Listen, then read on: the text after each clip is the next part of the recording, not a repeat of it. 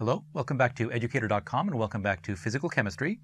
So today we're going to talk about term symbols and atomic spectra. Let's jump right on in. I'm sorry if my voice is a little scratchy today. Um, I hope that I'm still well understood. Okay, so we've talked about term symbols and now let's see what the association is with term symbols, uh, what the association is with atomic spectra. So let's actually go to blue, I think. So term symbols, they're also called spectroscopic term symbols. Also called spectroscopic. Spectroscopic term symbols or spectroscopic symbols.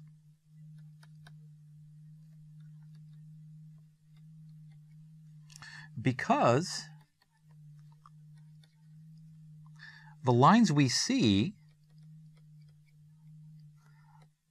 the lines we see on atomic spectra, like the one that you see below, which we'll talk about in just a minute, they represent transitions between electronic states.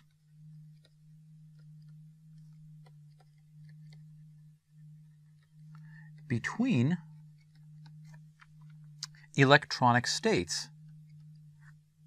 And electronic states, as we saw in the previous lessons, um, they're represented by term symbols. And electronic states are represented by term symbols. Okay, so we've seen spectra like this before. I mean, we saw it early, early on uh, in the course when we were talking about the evidence, uh, some of the early evidence for, for the quantum theory. So we go ahead and we take an atom, we excite it, we excite the energy to a higher level, um, that's, and then we allow, and then it falls back down to the excited electrons fall back down to a ground state. When they fall back down, they emit that particular um, excess energy as photons of light, but they emit certain frequencies. That's what we see here. The higher they go, they fall down, the higher the energy. And of course, at some point, it hits some upper limit. So that's all these are. It's just, it absorbs light, at, it absorbs energy of a certain frequency, and then it spits it back out when the electron falls back down to the ground state. Okay, so this particular one is the Lyman series for atomic hydrogen. Okay, so this let me do red now. Yes. This right here is the Lyman series for atomic hydrogen. Atomic hydrogen. Okay, this series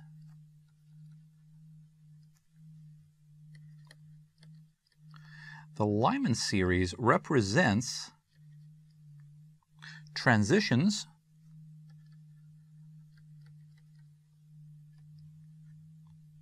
from higher n values, the first quantum number, n equals 1, 2, 3, 4, 5. So higher n values, and let me put in here in parentheses. Uh, actually, let me just continue it down here uh, these higher n values. You remember n is the primary quantum number. Down to the ground state.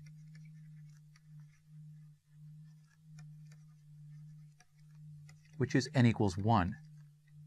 So this represents transitions from level 2 to level 1, level 3 to level 1, level 4 to level 1, and so on. So level 2 to level 1 that line. Level 3 to level 1, that's that line. Level 4 to level 1, that's that line. So we knock the electron, the electron in the 1s, right? The electron configuration is 1s1.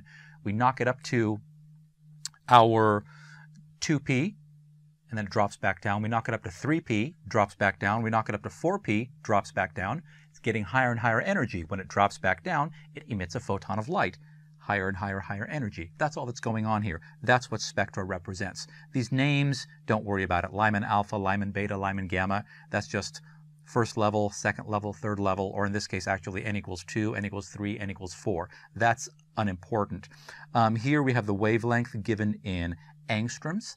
Um, oftentimes we'll see spectra given in inverse centimeters. For our purposes, we're going to be working mostly in inverse centimeters, which is the wave number. Uh, and there are ways of converting between the two. That's not important. Um, what's important is the numerical value and the qualitative information that we get so far. Okay. Now, when we look at the first line, so let's go ahead and take a, a, look at this line. When we actually look at that line under a higher resolution, in other words, when we magnify it,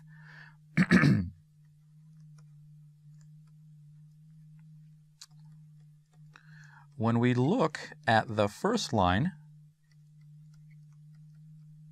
and the second and the third actually, not just the first, not just the first.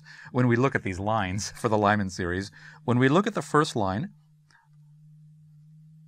under higher resolution, let's actually spell things properly here, getting a little ahead of myself. Under higher resolution, we end up actually seeing two separate lines. So this single line that appears in this spectra is actually made up of two individual lines that are really, really close together. Okay, we end up we end up seeing two separate lines. Two separate lines. The question is what's going on? It jumps up from so we excite it from level one to level two, and then it drops back down to the ground state, emits that energy. That's what we see here. It emits a photon of a certain frequency, and that frequency, in particular, this particular wavelength, happens to be that. Well, okay, so it jumped up from one state, ground state, to a higher state, and it dropped back down. We should only see one line. Why are we seeing two lines? When we see two lines, each line represents an energy level.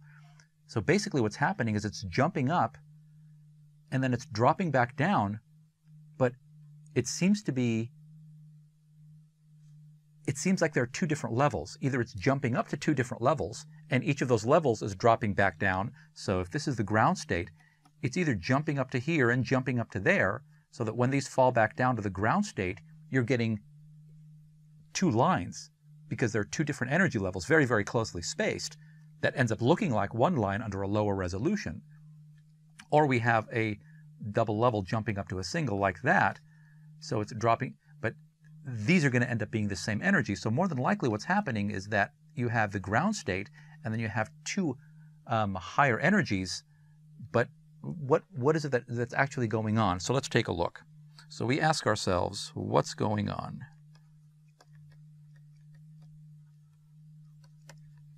Okay.